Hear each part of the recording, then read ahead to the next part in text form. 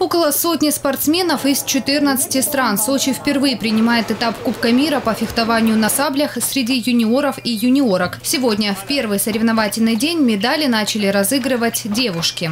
В числе фаворитов, несомненно, российская команда. Они сильнейшие. Тем более, они в родных стенах сейчас выступают и, возможно, от этого еще сильнее будут. Юниоры также достойно представляют себя как и национальная сборная, взявшая на Олимпийских играх в Рио две золотые и одну серебряную медали. Но я еще отмечу команды Польши и Японии. Они тоже сильны. И я думаю, здесь будут зрелищные поединки.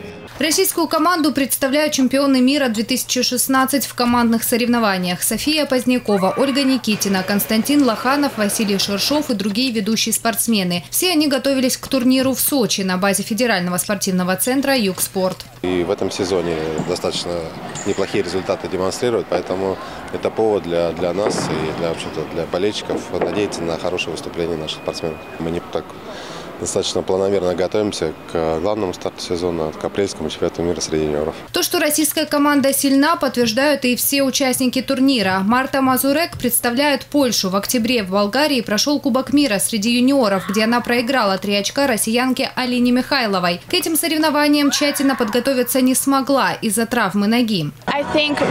Я думаю, у российской команды все возможности занять высшие места на этом турнире. Девочки особо опасны. Но я думаю, что каждый может постараться постараться и одержать победу на этих соревнованиях. Сегодня прошли личные турниры среди девушек, пальма первенства у россиянок. Завтра состоятся поединки среди юниоров, а в воскресенье пройдут командные соревнования и финальные встречи в личном зачете. Поболеть за спортсменов могут все желающие. Вход на турнир свободный. Татьяна Говоркова, Алексей Давыдов, телекомпания ФКТ.